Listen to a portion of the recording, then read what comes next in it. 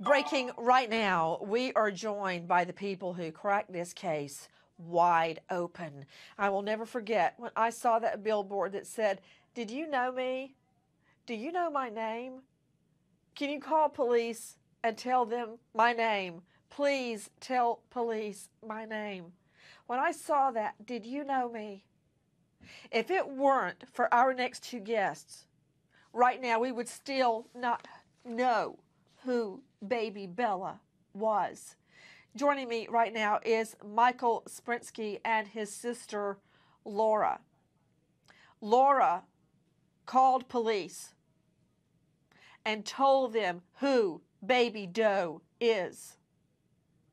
She learned this from her brother Michael, also joining us tonight. To both of you, you have no idea what you mean to the crime victim community tonight. And I understand that you've been taking a lot of heat for calling police, and I don't get it because, in my mind, the two of you are heroes. And I just want to thank you so much for what you did. And I'm going to start with Michael Sprinsky. Michael, I understand that you lived in the home for a while with Rachelle Bond. Is that right?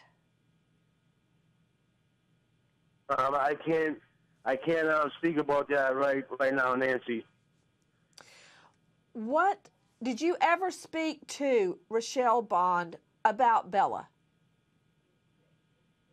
Um, no, no. Um, I'm very, I'm very shaken up right now, and um, the the tears that um, I'm shedding is um, so emotional, and um, I, I haven't been able to stop um, crying. It's it's tearing me up inside.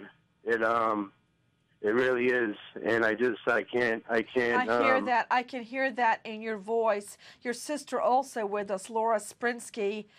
Miss Sprinsky, did you contact authorities when you found out what had happened? Yes, I did right away. Thank God. Thank God. You're, you're the only one that knew what happened that actually called police. Um, how did you find out, Miss Sprinsky, what actually happened to baby Bella? Well, I'm actually not able to tell you the particulars of the case right now because it is an ongoing investigation and it is going to trial. So I'm not at liberty to speak of that. Why did you ultimately tell police? Why did I tell the police? Because I found out that there was a, a murdered child. Did When I called you? police, it wasn't because I mean you, the way you just said something that I called them because I knew it was her. I didn't 100% know. Oh, okay. You you did not know what? That the information I had was, Ah. in fact, Bella. You just had a belief. And what did you tell them? That again, I'm not able to tell you what I told the police. Um, with me, Michael Sprinsky, who was in the home. Did you ever see Rachelle Bond interact with Bella? Yes, yes, I did. What happened? Um, uh, like was I she said, I- was she I, uh, kind? this- Was she kind to the child? Were you worried about baby Bella? Um, I, I can't, I can't, um, I can't discuss um, particulars of the case, and um, at the time I wasn't worried. Oh, okay. You were not worried. Did you move out of the home or leave the home? Yes, I, I, I, moved out of there. Why did you move out?